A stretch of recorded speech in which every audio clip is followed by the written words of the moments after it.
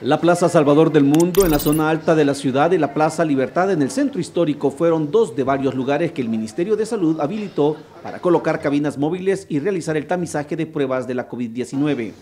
Desde muy temprano, largas filas de personas esperaron su turno para que les hicieran el hisopado que determine si son portadores del coronavirus o no. Sé que me dio gripe fuerte con tos y como estamos tan amenazados y yo antes padecí de, de bronquitis, ¿verdad? Entonces antes de que fuera muy tarde, pues me, no pedí. Yo trabajo con el ministerio, pero en la unidad de salud donde hemos estado, solo una vez la han hecho y como tratamos con pacientes, entonces he querido venir a hacerme la prueba. ¿De dónde viene? Ahorita yo vivo aquí en la satélite, sí, pero trabajo en, en una unidad de salud lejana.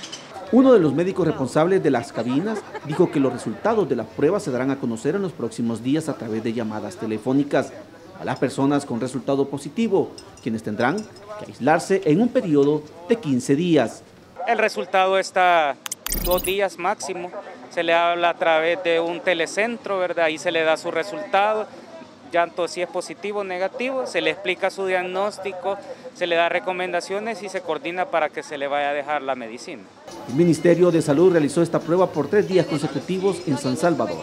El Ministerio de Salud espera que la población continúe acatando las recomendaciones de bioseguridad, por ejemplo, el uso de mascarilla, el uso de alcohol gel y también el distanciamiento físico.